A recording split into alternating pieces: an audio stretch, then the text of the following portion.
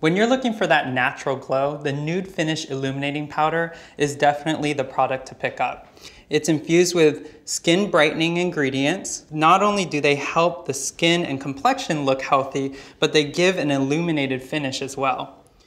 All you have to do is find the color that matches up with the complexion, pick up the sheer powder brush, and dust it on any part of the complexion, whether it's through the T-zone to control shine, whether you want to add a little bit more illumination through the cheek or just as an overall highlight powder. Now as we apply it, you're not going to see a huge difference on camera, but what I can tell you is it instantly smooths the skin and gives a very soft hint of illumination throughout the complexion.